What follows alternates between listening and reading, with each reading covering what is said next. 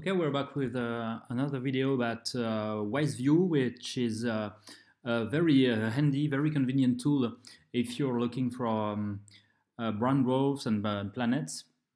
WiseView was made by Dan Caselden and Paul Westin.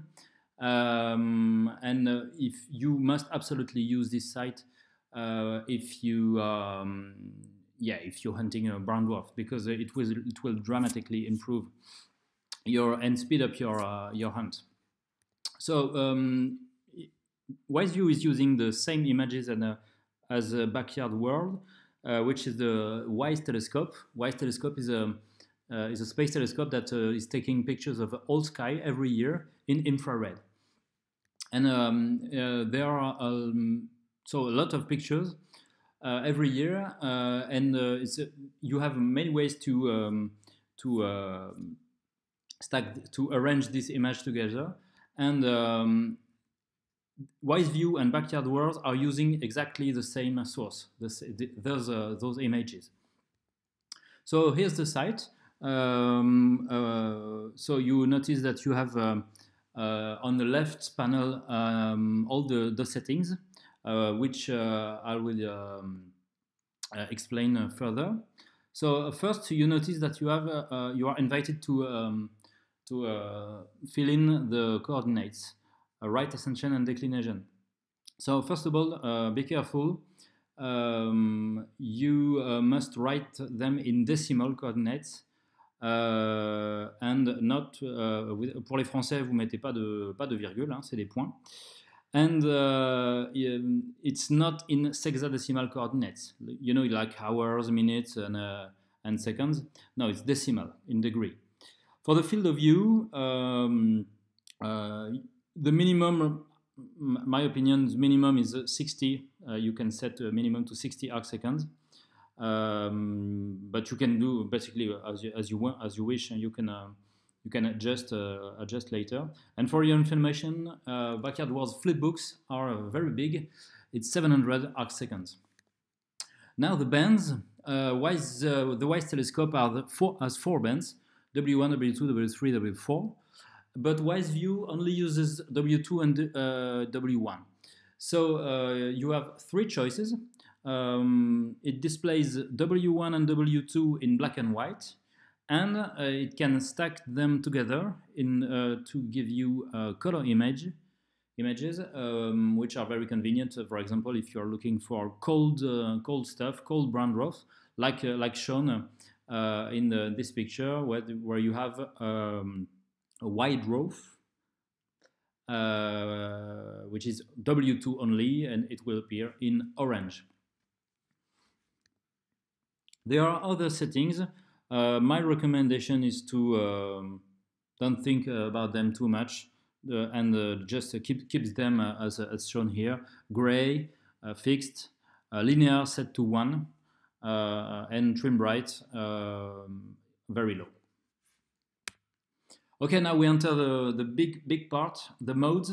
Um, I, I, already told you that you, you had a, um, very uh, you had different ways to um, manipulate the images and stack them in different uh, different order.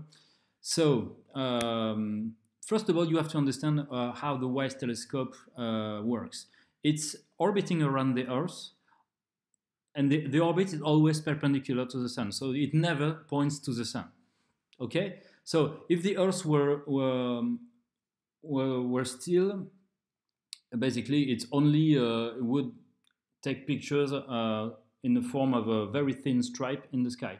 But because the Earth is spinning around the sun, uh, it will progressively, during one, one year, uh, take pictures of all the sky, cover the old, the old sky. But you notice that um, um, basically it only takes six months to cover the whole sky because one point in the sky one uh, is taken twice a year, and uh, one, uh, for example, on the left with the red arrow, and one six months later with the blue arrow. Why is that? It's because, um, for example, here, let's say uh, in, you are in February, you are the the telescope is on the ascending forward position. And because it's spinning, six months later, in August, you will have also the same image uh, taken with the backward, or we can say descending position. So um, basically what, uh, what the WISE telescope is providing uh, is this. First February this year, then August, then February, and so on. So first of all, let's look at, take a look at the at the the mode. The first mode, time resolved, is not very um, it's not very uh, very useful, but uh, basically it does a very simple thing. It gives you it animates all the images uh, every six months. Okay, so you have an animation. You you will uh, you you can, you can uh, check this. You have an animation of every um, every uh, every epoch, every six months. Next, you have the full depth um, the full depth mode. So what it does is it is stacking uh, all the images together. First one, uh, you will say it, it's called AllWISE. It's um, referring to the first epoch in 2010. And then it will add the Neo 1. Uh, the year are maybe not, uh, not uh, correct, but you get the idea. it adds Neo 1 images, and then Neo 2 images, and then Neo 3. So here, it's not, it's everything is stacked progressively. So again, this this was a very the one of the first mode in the in WiseView, but it's not very um, not very useful now. We have a better better modes now. So um, I suggest not to use it. Use, not to use it. Now the pre-post is um, much more interesting. Pre-post. What is pre-post? Pre pre what and post what? Uh, we are referring to the WISE hibernation. There has been a, um, an issue in the, with the telescope, so he, uh, he had to uh, hibernate. Uh, so by pre, we are referring to 2010, before, uh, before the problem.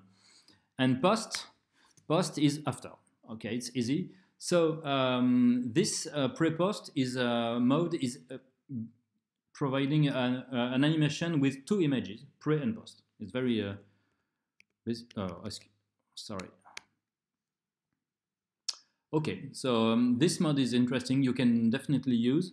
Um, now, now the much more interesting modes are the window mode.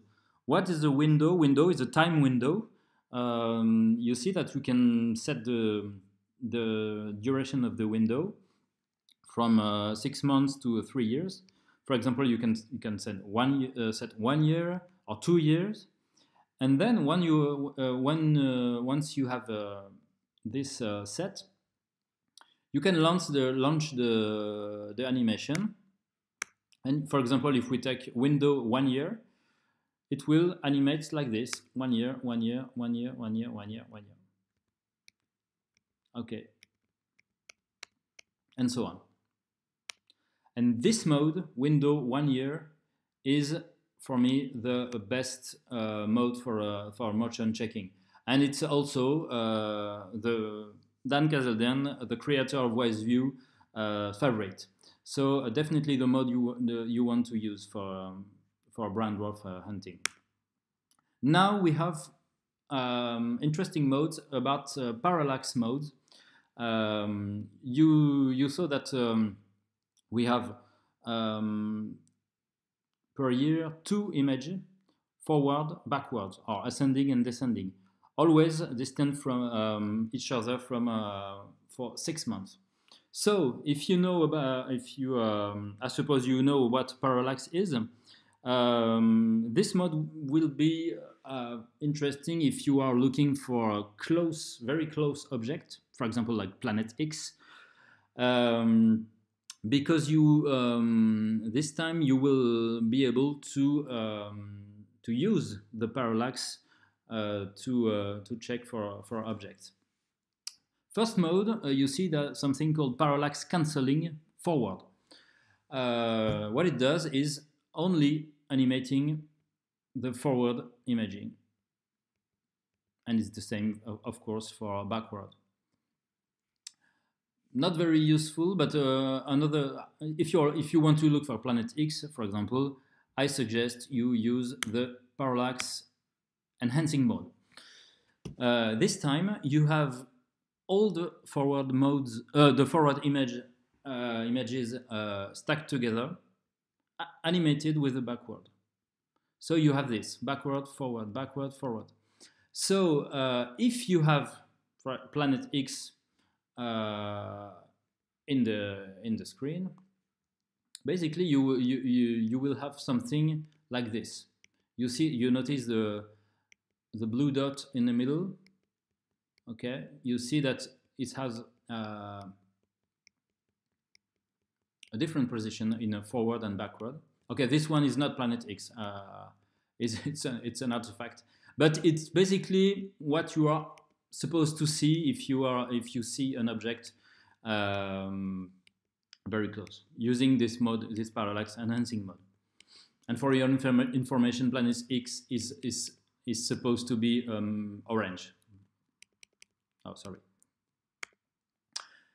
Okay, now we have uh, covered uh, almost all the all the modes. Um, what to if if you are look if you are using uh, backyard worlds, how how can you use the um, wise view? Okay, for now, for this uh, we'll go directly to backyard world. Here uh, you see uh, a flipbook, and let's suppose that you um, you notice here a small dipole. Okay, you're interested, but you, it, it, it's always difficult to get the, the precise coordinates. So uh, I want to check if this is really uh, moving. So what you can do is going to the clicking on the information button, and you notice here you have a wise view link, and everything is stacked. Everything is uh, is uh, pre-filled. Sorry. So you notice here uh, you have you have already your um, your image. You notice here field of view 700. And okay, uh, what to do next? Uh, this image corresponds to the flipbook. It's exactly the, the flipbook. So we have our image, uh, our object here, and okay, we, are, we are, we're gonna try to, uh, okay, this is our object.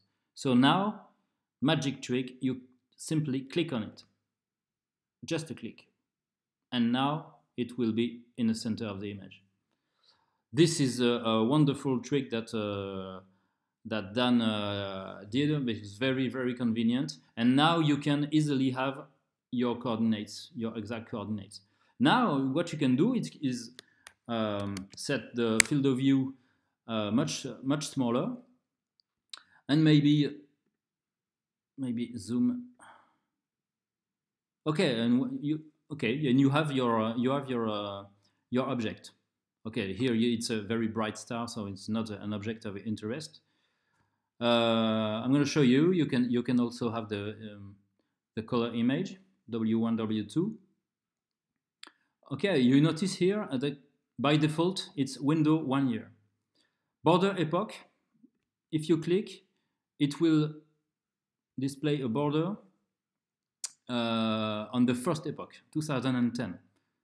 If it's if it's too too uh, too quick, you can lower the speed, lower the frame rate. Okay. Next, what you have on um, on Wise View here, nearest Zooniverse subject. If you want, if you are here, you, uh, for example, you want to to see what's on the left, you can you can go here and click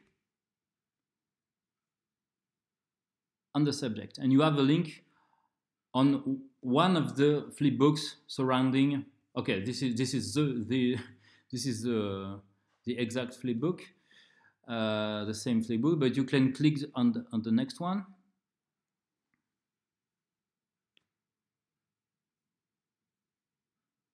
And you will have, okay, the flip books, probably the, the one on the, on the left. Okay, so that's all. Uh, let me know if you have questions in the comments below. Uh, I'll be happy to, to respond.